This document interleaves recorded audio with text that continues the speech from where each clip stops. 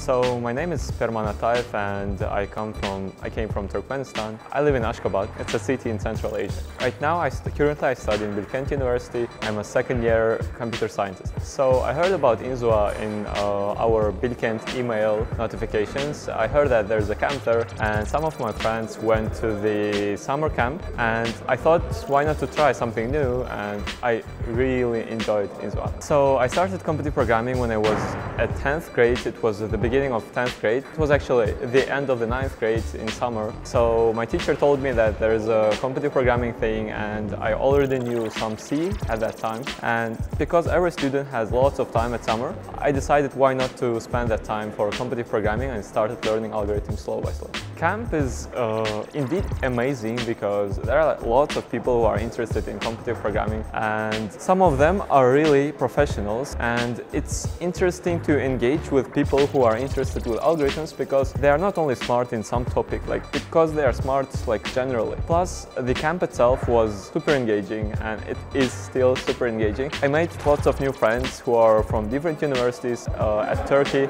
and the area of the camp is also wonderful. There's a sea right like 5-10 minutes from the camp and I, I, advise anyone to come and like to just try it out and to learn algorithms because they're indeed engaging. Well, they're complicated, but when you see that like you are not the only one who suffers, you start learning.